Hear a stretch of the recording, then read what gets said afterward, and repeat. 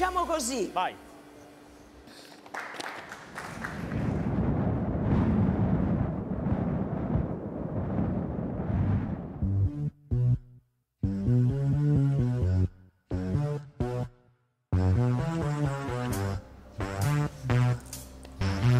Sono felice che ci stai. Tu sei sempre quella che sa da fare. Non ti preoccupare forte. Noi a sti guai ci avrà una seconda possibilità. Tu ricordati sempre quello che hanno fatto per entrare qua dentro, però. Peggio cresciuto troppo buono. Ma occupandomi insieme. Che sto voglio sapere. I nostri fan sono molto calorosi. Questo ci spinge anche a spronarci a fare di più, a continuare a lavorare, a fare sempre meglio.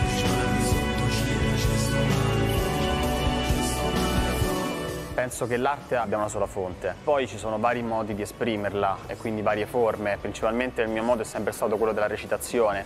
Eh, la musica per me è stata un hobby, una passione che ho coltivato parallelamente e che mi ha aiutato molto a alimentare il lato recitativo.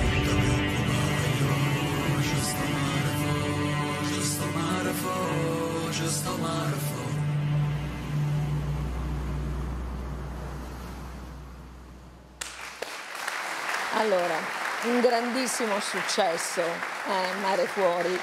Anche se tu oggi, adesso mi parli, voglio che tu mi racconti un po' di te. Ma tu qui oggi sei per presentare un libro, perché... eh, tra l'altro è Matteo arrivato è- prima a te che a me. è arrivato- copia ce l'hai avuta tu. Devi Io fare, ancora non l'ho vista. Devi fare la dedica Posso alla vederlo? zia, eh, che non c'è. Ecco qua. Dai, racconta questo libro.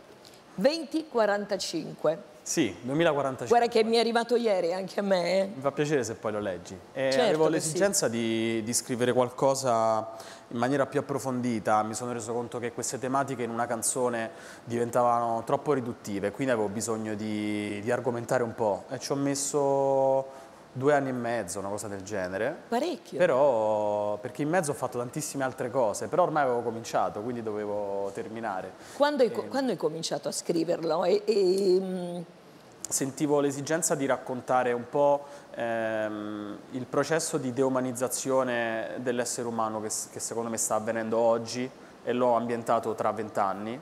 E, mm, oggi siamo sempre più distanti tra di noi, no? C'è sempre meno eh, consapevolezza delle proprie emozioni e probabilmente la tecnologia ci sta portando verso un progetto di robotizzazione in qualche modo. E, quindi volevo un po' proiettare queste cose nel futuro e, e raccontare quelli che possono essere i pericoli e magari la salvezza da, da queste cose.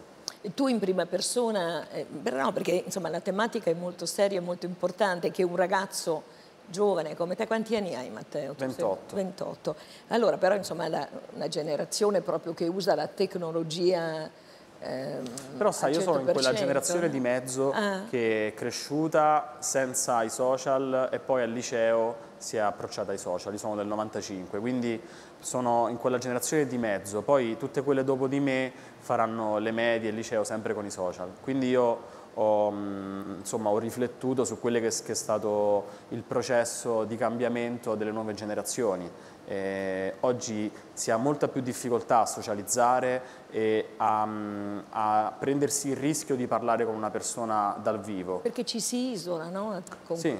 Per quello che uno tende proprio a, a isolarsi. Anche no? perché ci si protegge dietro lo schermo, perché di persona si assume il rischio magari di non piacere, di sentirsi giudicati, di, di dire qualcosa fuori posto e invece attraverso uno schermo uno può pensare, può ragionare, può cancellare, è, è diverso. No? diventa uno schermo nel vero senso della Sì, parola, mentre ovviamente parlando come stiamo facendo noi adesso c'è un confronto diretto tra Esatto, chi diretto sono io e, e- chi esatto e in diretta. Allora, da leggere secondo me, da leggere Matteo Paolino 2045 è uscito adesso, è uscito Sì, il esce 16. il 16 aprile. Ah, non è ancora uscito? ordinare. Sì. 16 I protagonisti aprile. sono due ragazzi e una ragazza ed è una storia realistica, non è un romanzo di fantascienza, è semplicemente ambi- ambientato nel 2045 e racconta un po' il mondo come l'ho immaginato io tra vent'anni. Allora, lo troveremo in tutte le librerie dal 16 di aprile. Matteo, adesso parliamo però Mare Fuori, questo Sì. grandissimo successo.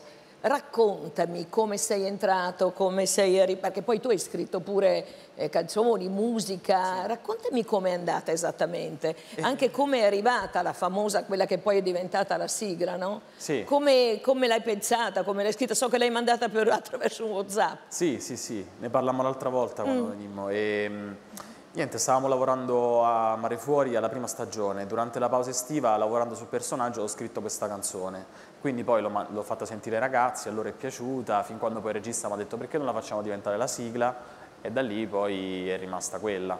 Eh, Senti, e il grande successo di questa serie, come te lo spieghi tu? Davvero così amati tra i giovani, un grande successo Questa è una domanda di che ci pubblico? siamo fatti spesso. Eh, probabilmente è che noi abbiamo pensato solo a fare un buon lavoro, non abbiamo pensato a, insomma, al successo della serie che poi è arrivato dopo e si è creato un legame tra di noi molto forte e quindi forse questo legame poi è arrivato anche al pubblico. Abbiamo raccontato comunque storie vere di ragazzi, ma anche eh, la generazione prima, perché poi ci sono tutti gli adulti, quindi probabilmente tutte le fasce d'età in qualche modo si sono riviste in alcuni personaggi e hanno empatizzato con la storia. Non lo so, in realtà è ancora un po' inspiegabile per me. Inspiegabile, però insomma il successo c'è, come siete tutti davvero molto bravi, la serie è girata bene, scritta bene. Allora, volevo ehm, musica, parliamo di musica e so che qui c'è un ragazzo che io conosco molto bene perché l'ho visto nascere ed è vero. Vuoi chiamare tu? Sì. Dai. Allora qui è Domenica in LDA.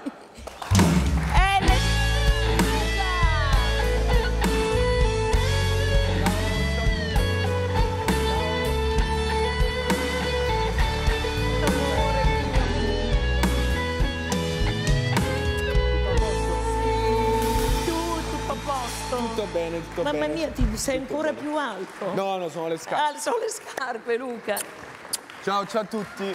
Allora tu devi sapere che Luca veramente l'ho visto nascere cresciuto, perché eh. quando la sua mamma è andata a partorire È bene, è bene. io stavo con Carmela in ospedale perché papà era non so in Australia da qualche parte in giro a lavorare e io ero lì per cui sono passati tanti anni e ti devo dire che quando ti vedo mi emoziono perché ormai sarà l'età però veramente sono passati tanti anni Anche io, anche io. Raccontatemi tutto, allora voi com'è l'incontro, cosa fate, Com- perché adesso so che lavorate insieme, c'è questo nuovo eh, progetto, come nasce, siete amici?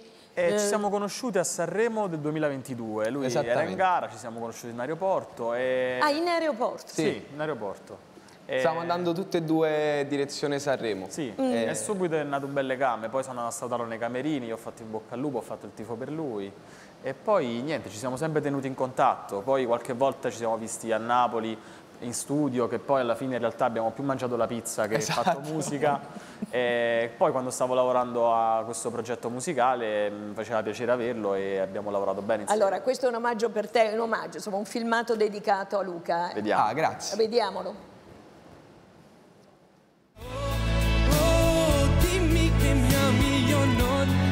Diciottesimo cantante in gara di LDA. se verrai da me o sarai solo un'altra bugia.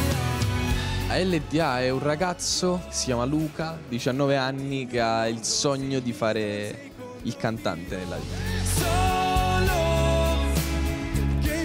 Io sono uno che immagina tanto, sono uno che sogna tanto. Mi ha sempre portato bene sognare. Sognate in grande che è gratis, perché tu più sogni in grande più ti poni obiettivi alti. Questo per me vale in tutto, no? Vale nella musica, vale nell'amore, vale nell'amicizia. Oh, oh, dimmi che mi ami, io non so se poi domani verrai da me, se verrai da me. o Canta LDA con Alex Britti. Spero più che posso che non sia soltanto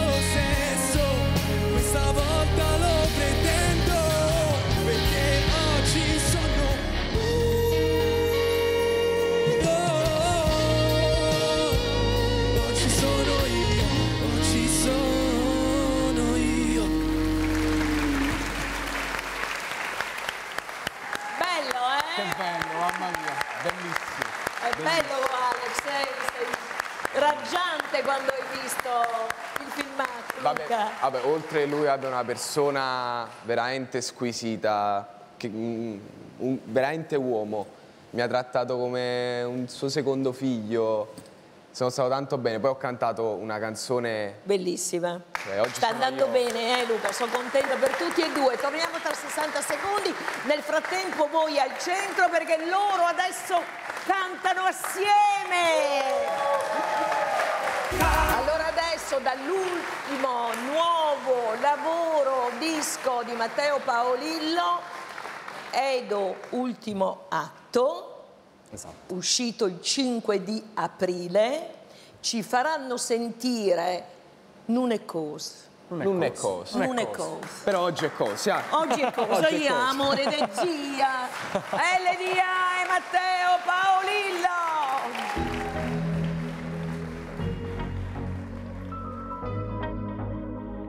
Ma non è cosa, ci ostiniamo a respirare questo veleno. Adesso non ti voglio bere più. Era solo miele amaro, ma io ci credevo.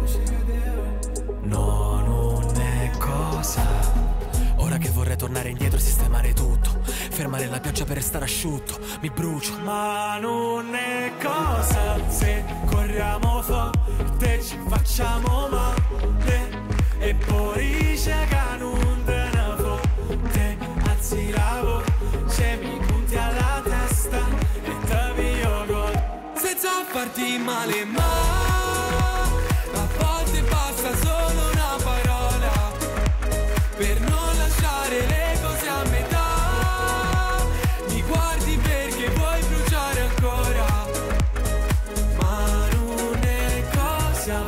appassite per rifiorire, serve la luce. Crepa sopra la pelle una cicatrice che non si chiude, ma tu capo. Tu fai da randella, ma va pazzia. È cosa bella che mi passato te ne scordare. Ma che lì notte insieme capo sa ancora Ma non è cosa se corriamo forte ci facciamo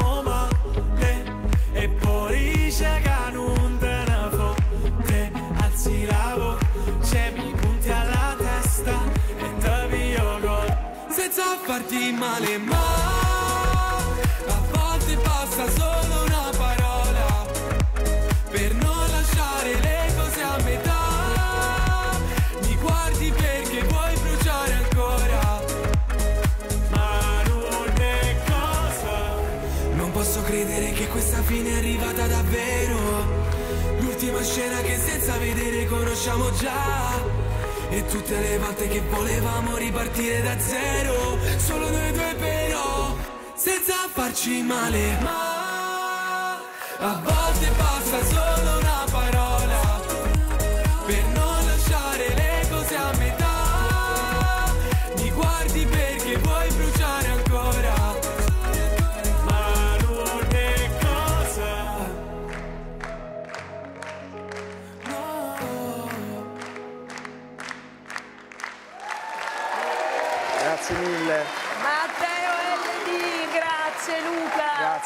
Grazie, mille. Grazie, grazie. A presto spero. eh. assolutamente. Grazie a te Matteo. Posso Allora, dire l'ultima cosa? Certo, puoi dire quello che vuoi. Occhio all'estate, occhio a quest'estate. Perché che succede, amore? Non voglio aggiungere altro. Occhio a quest'estate. Occhio a questa Quest'estate. Capisci? Ce lascia così. Occhio a quest'estate. Ci sarà qualcosa di bellissimo. Speriamo. Speriamo. Speriamo. Occhio a quest'estate.